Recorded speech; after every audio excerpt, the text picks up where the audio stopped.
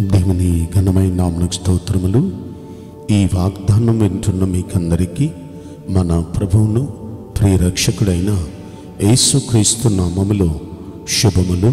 మా హృదయపూర్వకమైన వందనములు తెలియచేస్తున్నాం. ఈరోజు దేవుని వాగ్దానం యశగ్రంథం యాభై నాలుగవ అధ్యాయము పదకొండవ వచనం. నేను నీలాంజనములతో నీ కట్టడమును కట్టుదును నీలములతో నీకు పునాదులను వేయుదును. ఈ మంచి వాగ్దానం వింటున్న మనందరి వెనుకడిలో మన మంచి దేవుడు నెరవేర్చునుగాక. ఆమేన్. ప్రియ దైవ జనాంగమా ఈ వాగ్దానాన్ని మనం గమనిస్తే అంతవరకు ఇజ్రాయేలీల జీవితంలో దెబ్బ మీద దెబ్బ తిని చాలా శ్రమల పాలయ్యారు. చాలా దెబ్బతినేసింది వాళ్ళ జీవితం. వాళ్ళ దేశం దెబ్బతినేసింది వాళ్ళ కుటుంబాలు దెబ్బతినేసినాయి వాళ్ళ జీవితాలు దెబ్బతినేసినాయి. అలాంటి పరిస్థితుల్లో మనం ఎంత దెబ్బతినేసాం మన జీవితం ఏంటి ఇలా అయిపోయింది అని వారు బాధపడుతూ ఉన్న సమయంలో దేవుడు వారికి ప్రత్యక్షమై వారితో మాట్లాడుతూ అంటాడు పర్వతాలు తొలగిన మెట్టలు తత్తరిలిన నా కృప నిన్ను విడిచిపోదు. సమాధాన విషయమైన నా నిబంధన తొలగిపోదు అని నీ మీద జాలిపడు యహోవా సెలవిస్తున్నాడు అంటాడు. దాని ముందు వచ్చినలోనే అంటే రకరకాల ప్రయాసలతో బాధలతో ఇరుకుల ఇబ్బందులతో నలిగిపోతూ ఉన్న కుటుంబాల వారి పరిస్థితిని చూసిన దేవుడు జాలిపడ్డాడు. జాలిపడిన దేవుడు ఆయన అంటున్నాడు ఇక పర్వతాలు తొలగిపోయే అంత భయంకరమైన పరిస్థితులు వచ్చినా మెట్టలు తత్తరిల్లిపోయే అంత ఉప్పెనొచ్చినా నా కృప మీకు తోడుగా ఉంది. ఆ కృప మిమ్మల్ని ఎప్పుడు విడిచిపెట్టి వెళ్ళిపోదు. నా నిబంధన మీ నుండి ఎప్పుడూ తొలగిపోదు. నేను మీతో ఎప్పుడు ఉంటాను. ఇంతకుముందు నిమిషం మాత్రము మీకు నేను దూరంగా ఉన్నాను. అయితే నిత్యమైన కృపతో మీకు వాత్సల్యత చూపుతాను అని ఎనిమిదో వచనంలో అన్నారు. అయితే ఇప్పటి వరకు ఈ ప్రయాసలతో గాలి వాన అటు ఇటు కొట్టబడి ఆదరణ లేక నలిగిపోతున్న జీవితాలతో ప్రభు మాట్లాడుతున్నాడు.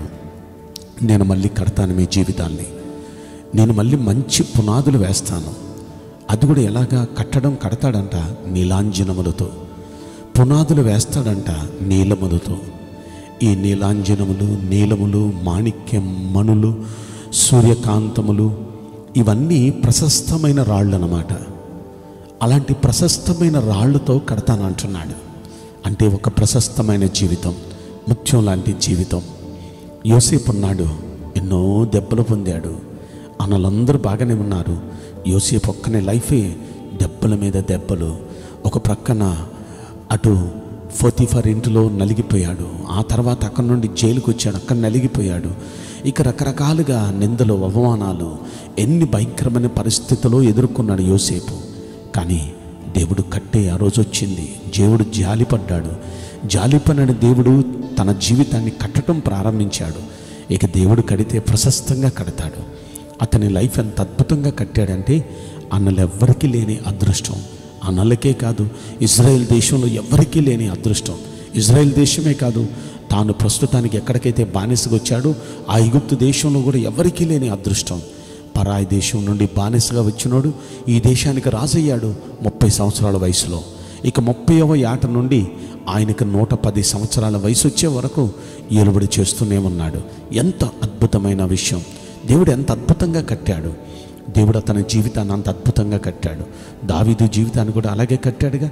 ఎటు చూచిన శత్రువులు. ఎటు చూచిన ప్రాణాలు తీసే పరిస్థితులు ఎటు చూచిన తరం పడ్డాడు.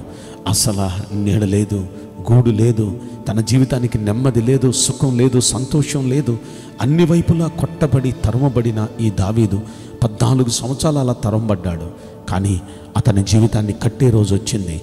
ఎంత అద్భుతంగా కట్టాడంటే ఇజ్రాయేలీలందరిపైన అధిపతిగా చేశాడు రాజుగా చేశాడు. అది ఇజ్రాయెల్ దేశం మీద మాత్రమే కాదు మొత్తం ఆ చుట్టుపక్కల మరొక కొన్ని కూడా యుద్ధానికి వచ్చి వాళ్ళు ఓడిపోయి పన్ను కట్టడం ప్రారంభించాడు. అలా మరొక ఏడు దేశాలు అటు రెండు దేశాలు ఇజ్రాయెల్ దేశాలు ఇటు ఏడు దేశాలు తొమ్మిది దేశాలపైన ఆయన అధిపతిగా చక్రవర్తి స్థాయిగా దేవుడు ఎంత హెచ్చించాడండి. నిజంగా దావీదును కట్టడం ఆరంభించిన దేవుడు అద్భుతంగా కట్టాడు ప్రశస్తంగా కట్టాడు. యోసేపు జీవితాన్ని ప్రశస్తంగా కట్టాడు. మన జీవితాలను కూడా కడతాడండి. అయితే మనం ఏం చేయాలి? ఒక్కంత మనం ఆలోచిస్తే యొబ్బేజు వలె మనం ప్రార్థించాలి. యొబ్బేజు జీవితం అంతా సర్వనాశనం అయిపోయింది. యొబ్బేజు జీవితం గురించి ఆలోచిస్తే పుట్టినప్పుడు ఆ తల్లి అతనికి పేరు పెట్టింది వేదన పుత్రుడని. తన జీవితమే వేదంలో వేదంలో వేదంలో. అసలు ఆ వేదంలో అనుభవించడానికి పుట్టాడేమో అన్నట్టుగా తన జీవితం విసిగి వేసారిపోయి ఒకరోజు తల్లి దగ్గరికి వచ్చి ఏడుస్తూ ఎందుకమ్మా ఈ పేరు పెట్టావు? నా బ్రతికే అలా అయిపోయిందమ్మా. ఏంటమ్మా ఇంకా మంచి రోజులు నేను చూడనా? ఇలా చచ్చిపోవాల్సిందేనా? అంటే అరే జీవితాన్ని మార్చే ప్రభావం దేవునికి ఒక్కనికే ఉందిరా. మనకి జీవితం ఇచ్చిన వాడు ఆయనే. ఈ జీవితాన్ని మళ్ళీ తిరిగి మంచిగా కట్టగలిగిన వాడు పునర్నిర్మించగలిగిన వాడు కూడా ఆయనే. ఆయన పాదాలు పట్టుకొని ప్రార్థన చేద్దాంరా అని తల్లి కొడుకు ఇద్దరు కలిసి ఆడవటం ప్రారంభించారు.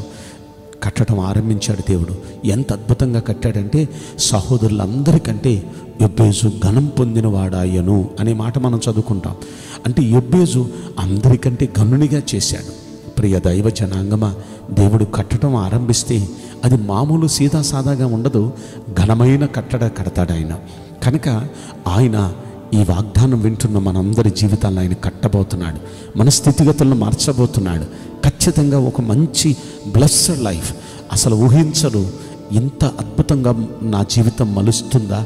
నా జీవితాన్ని ఇంత అద్భుతంగా మీరు మలుస్తారయ్యా అని మనము ఆ ఊహకు అందని ఆలోచనకు అందని ఘనంగా దేవుడు మన బ్రతుకులను కట్టబోతున్నాడు.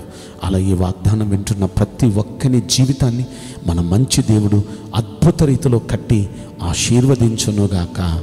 ఆ మేం నేను మీకోసం ప్రార్థన చేస్తాను. పరిశుద్ధుడా ప్రేమగలేశ్వరాజా మీ పరిశుద్ధ బంగారు పవిత్రమైన నామ్మునకు నిండు మనసుతో కోట్ల కొలదిగా స్థుతులు స్తోత్రములు వందనాలు చెల్లిస్తున్నాం. ఈ వాగ్దానం వింటున్న ప్రియుల జీవితాన్ని దయచేసి మీరు కట్టండి. ప్రశస్తంగా కట్టండి ప్రభు మంచిగా పునాది వేయండి ప్రభు అద్భుతమైన కట్టడంగా వారు కట్టబడినట్లు ఒక దావీదు జీవితం కట్టబడినట్లుగా ఒక యోసేపు జీవితం కట్టబడినట్లుగా ఒక యొబ్బేసు జీవితం కట్టబడినట్లుగా మీరందరి జీవితాన్ని మీరు కట్టి మీ నామానికి మహిమ తెచ్చుకోండి. మీ బిడ్డలను మీరు ఆనందింపచేయమని ఈ కొద్ది మనవులు నజరుడని యేసుక్రీస్తు ప్రశస్తమైన నామములో మిక్కిలి వినయముతో ప్రార్థించి బ్రతిమలాడి వేడుకుంటున్నాం ప్రియ పరలోక తండ్రి. Amen may God bless you all thank you